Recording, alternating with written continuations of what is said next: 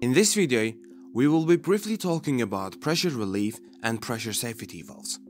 Pressure relief valves, being a specific type of valves, are designed to protect the pressure system from overpressure.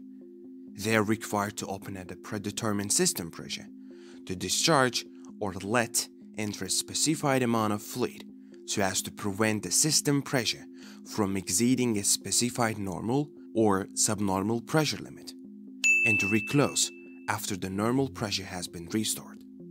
Pressure relief valves must also be self-actuated for maximum reliability, except they are permitted by the applicable code of practice for specific applications. Most commonly used pressure relief valve type is direct loaded pressure relief valve, in which the fluid pressure acting on the valve disc in the opening direction is opposed by a direct mechanical loading device, such as a weight or spring. Pressure relief valve, PRV, is an equipment which starts to work at the predetermined set pressure to hinder calamity during an overpressure event. In oil gas and other related industries, there are two terms that are mostly led to the confusion pressure safety valve, PSV, and pressure relief valve, PRV. Indeed, these two terms are interchangeable. Thus, we can say that PRV and PSV are the same thing. Like, all PSVs are also called as the relief valves. Pressure relief valves are generally made use of to relieve fluid in case of excess pressure in the pipeline or in the equipment. PSVs are placed on the top of separators. Let's say equipment operation pressure is 50 bar, but pressure exceeds this normal operating pressure and reaches to 60 bar.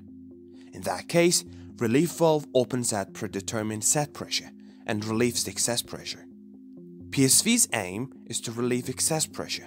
They take the fluid away from the system by bringing it to the flare system to burn and remove that fluid from the system. What would happen if we let the fluid take its time to enjoy in the downstream of the isolated line with the valve? There would be drain line in the valve below the seat, or valve may have another drain line in the downstream so that we may drain the leakage. However, we should not let the fluid just enjoy its time in the downstream if we have isolated that line through the valve. Let's take the simple example for better understanding. Assume that leakage occurs in the valve and we don't drain that fluid. In summer, because of the hot weather conditions, that fluid may be heated, which would lead to expansion and consequently explosion. Explosion is given as to describe one possible consequences. In general, pressure safety valves, PSVs, do not allow the situation to become that force by relieving the excess pressure generated by the fleet that undergone the expansion. Here we end the brief informative session on pressure relief and safety valves. But to learn more on this and relevant topics, you can get into our website and enroll in our practical training courses.